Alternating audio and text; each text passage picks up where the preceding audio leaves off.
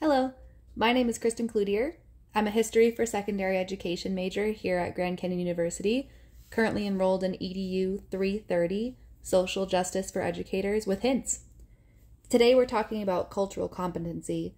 To me, being a culturally competent teacher is all about keeping myself educated about other cultures and communicating effectively in my classroom to be inclusive to all my students. Everyone has a unique upbringing and is raised to believe different things.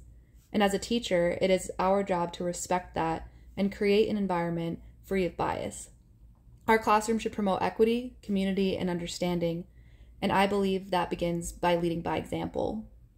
Every person should be given the same chance as everyone to succeed and deserves respect regardless of beliefs or ethnicity. Culturally competent teachers will find ways to include opportunities for participation in all of their lessons and use personal relationships with each student to enrich the education of the entire class.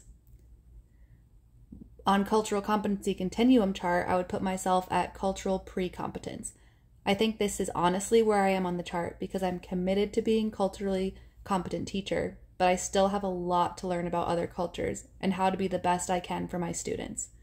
I would love to be able to help English language learners, immigrants, students who are seeking and students who are seeking acceptance.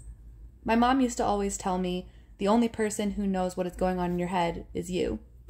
Such a simple statement, but that always was comforting to me as a child. I would like to make all my students feel welcome in my classroom, especially students who are transgender, students who are struggling with image issues, and students who have different or foreign religions. It is my opinion that no matter what, everyone deserves to be who they are and feel in their heart that they should have respect and room to grow, especially in school environments. I think to move past cultural precompetence, I will need to educate myself more about the different types of students I will encounter when I'm a teacher and resources to help them. There are many ways to make students feel supported and accepted, and I want to be prepared for anything. The next step on the continuum chart is cultural competence. At the next level, I will be able to easily recognize diversity and have the knowledge and resources to make necessary adjustments in the classroom to accommodate all students.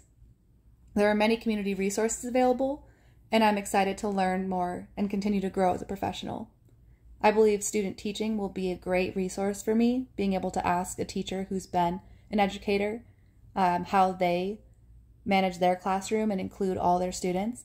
And I'm excited to meet all different types of people in the communities that I will be working in and learn and grow with the community um, and be inclusive and a culturally competent growing teacher. Thank you.